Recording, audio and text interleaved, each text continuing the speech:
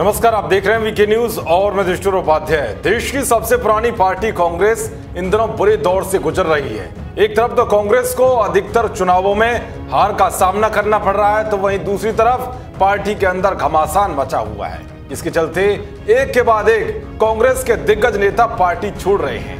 हाल ही में मध्य प्रदेश के युवा नेता ज्योतिरादित्य सिंधिया ने भी कांग्रेस से बगावत करके कमलनाथ सरकार को भी गिरा दिया था। इसके बाद राजस्थान में सचिन पायलट ने बगावती तेवर दिखाते हुए गहलोत सरकार को खतरे में पहुँचा दिया है।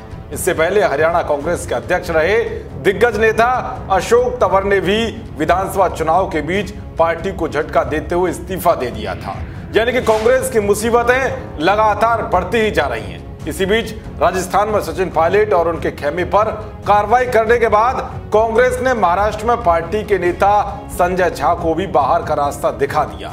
इसके पहले संजय झा को कांग्रेस ने प्रवक्ता पद से हटा दिया था। इसके बाद तो संजय झा के तेवर और भी ज़्यादा तल्ख हो चले हैं। इसी बीच उन्होंने भविष्यवाणी करते हुए कहा है कि अगर कांग्रेस ने अपना रास्ता नहीं बदला तो वो जल्द ही तबाह हो जाएगी। टाइम्स ऑफ़ इंडिया में छपे एक लेख के मुताबिक संजय झा ने कहा है कि कांग्रेस में विपरीत विचारों के लिए असहिष्णुता है। कांग्रेस बीजेपी पर अवैध लोकतंत्र का लांछन लगाती है, मगर अपने भीतर भी राजशाही संस्कृति को बढ़ावा देती है। इसके साथ ही उन्होंने पाँच ऐसे फैक्टर्स गिराए हैं जो कांग्रेस की बर्बादी की तरफ़ इशारा करते हैं। संजय झा के मुताबिक कांग्रेस के महाविनाश का सबसे पहला फैक्टर है पार्टी का गिरता वोट शेयर।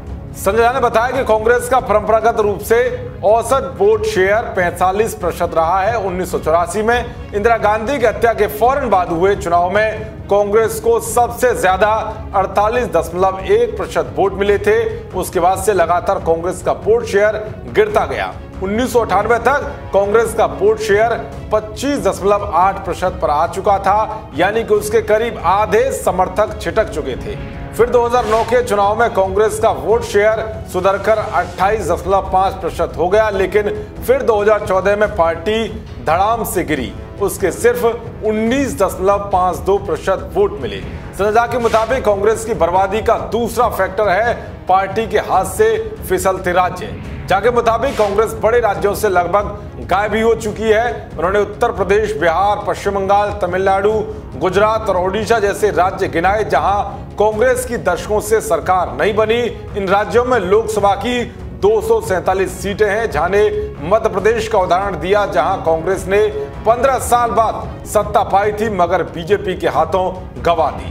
संजय झा ने कांग्रेस के महाविनाश का तीसरा कारण वोटर्स की संख्या में इजाफा न होना बता है, जहाँ के मुताबिक कांग्रेस के वोट बेस के आंकड़े नॉक आउट पाँच जैसे हैं। 2004 में दस दशमलव तीन करोड़ वोटर्स का साथ पाने वाली कांग्रेस 2019 में ग्यारह दशमलव नौ करोड़ वोटर्स को ही लुआ सकी। यानी कि उसके वोट बेस में सिर्फ़ 15 प्रतिशत का इजाफा हुआ, जहाँ इसके मुकाबले बीजेपी के आंकड़े देते हैं, जिसने इसी समय काल में अपना वोट बेस एक प्रतिशत बढ़ा लिया। कांग्रेस के युवा वोट खोने का यही आंकड़ा है। संजय ने कांग्रेस के पतन का चौथा कारण 2019 के बाद कांग्रेस के सरेंडर को जिम्मेदार बताया है। संजय के मुताबिक 2019 की करारी हार के बाद कांग्रेस सिमट कर रह गई। उनके मुताबिक पार्टी ने बीजेपी को कर्नाटक हथियाने दिया।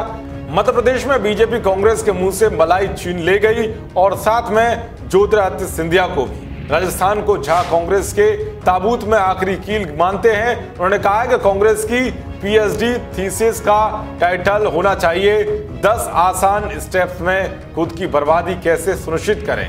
संजय ने कांग्रेस के महाविनाश के पाँचवें फैक्टर का ज़िक्र करते हुए पार्टी के नेतृत्व को जिम्मेदार ठहराया है।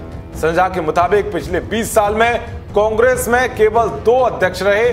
कांग्रेस वर्किंग कमेटी के चुनाव उन्नीस के बाद से नहीं हुए हैं। मई 2019 के बाद से कांग्रेस के पास परमानेंट अध्यक्ष तक नहीं है। जाने कहा कि पार्टी के भीतर ज़बरदस्त गुटबाजी चलती है। उनका मानना है कि पार्टी 2024 में बीजेपी को टक्कर दे सकती है अगर वक्त ना गवाए। कांग्रेस को एक गैर गांधी अध्यक्ष बनाना चाहिए और पारदर्शी तरीके से गठबंधन के चुनाव कराना चाहिए। तो इस तरह से कांग्रेस से सस्पेंड चल रहे संजय झा ने पार्टी के महाविनाश के पाँच कारण गिनाए हैं, जो ये साफ़ करते हैं कि अगर ऐसा ही रहा तो देश की सबसे पुरानी पार्टी कांग्रेस एक दिन देश मुक्त हो जाएगी। वैसे भी इन दिनों गांधी परिवार के नेता संवेदनशील मुद्दे पर जिस तरह की घटिया राजनीति कर रहे हैं, वो भी कांग्रेस के पतन का सबसे बड़ा कारण बनता जा रहा है।